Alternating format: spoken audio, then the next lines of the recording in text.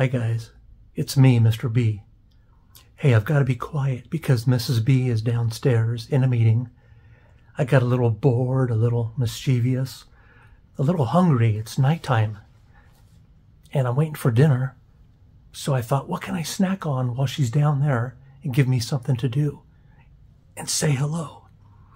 Anyways, I found this.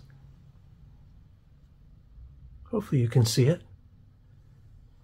It's a uh, very giant, very green seven pot Congo mustard.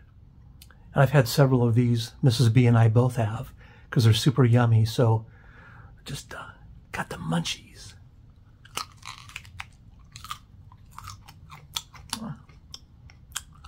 It's a tasty green pepper.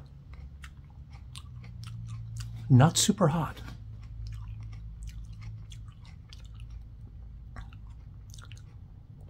Just an initial slight burn. Sides of the tongue, back of the throat. I don't think it even makes it two. It's pretty yummy though.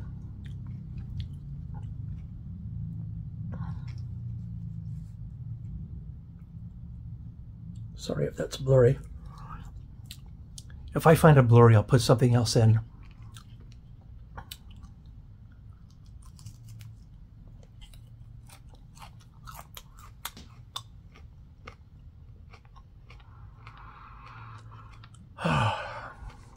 So much better.